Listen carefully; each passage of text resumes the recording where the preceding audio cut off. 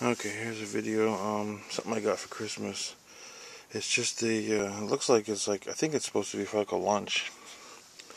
I'm using it just for some of my gear, but it's from REI. It's um, like a lunch pack, I think, is what it's supposed to be. Um, has a little pocket in the front, you can just slip stuff in.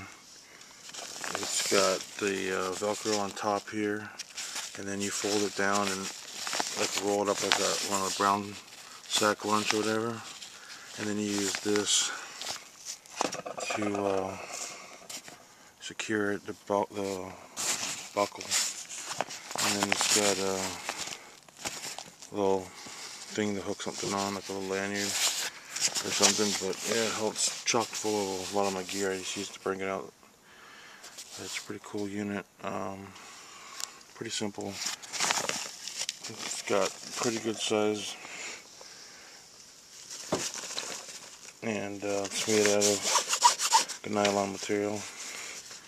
This just comes off and this rolls up and then you open it up and you can right now I've got some of my battery holders that I did a video on.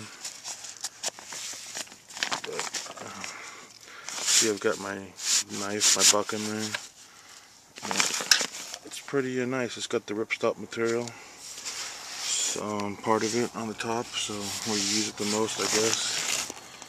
So you can see the little squares in there, and uh, front and back. Got that ripstop material, and it's pretty light, you know. Doesn't take up a lot of room. You can fold it down when you're not using it stored away. So that's my uh, one of my new things from Christmas.